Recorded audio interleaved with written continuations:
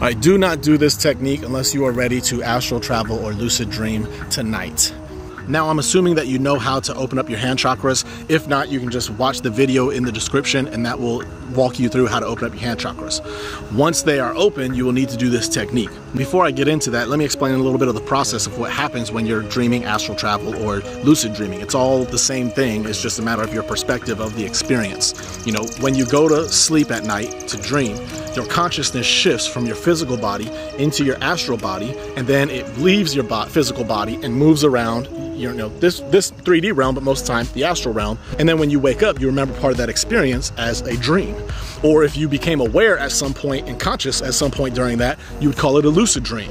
Or if you were aware of the whole experience of leaving and coming back, you would call it astral traveling. But it's all the same thing.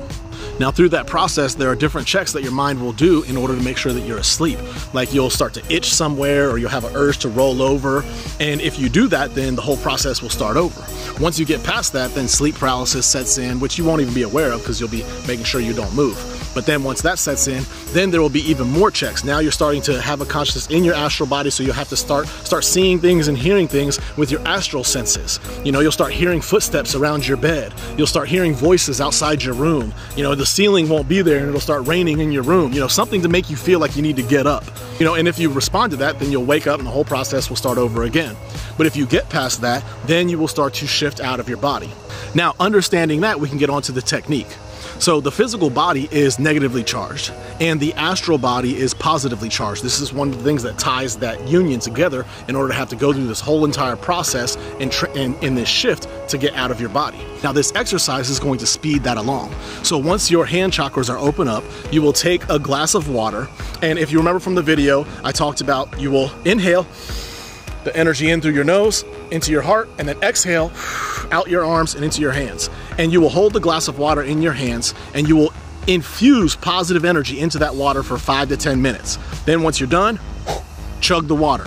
Now this will slowly positively charge your physical body to where it's a lot easier. Your physical body will want to push out your astral body. And then you just lay down and go through that whole process, remain still, remain calm, go out. And when you go out, come back really quick, you know, two minutes because if you leave your body for too long when you're first starting out, you're going to start to lose consciousness and then you'll forget. And so you'll come back to your body and you won't even know, you'll be like, oh, it didn't work because you won't have any memory of any of it. You have to remain conscious through the whole process of making it back into your body. That is how you will remember the experience. Otherwise, you could be gone for hours. If you lose the consciousness at all, as soon as you get back to your body, you won't remember any of it. So it's very important early on to just, you know, get out of your body, look at your body, scan the room, and then get back in.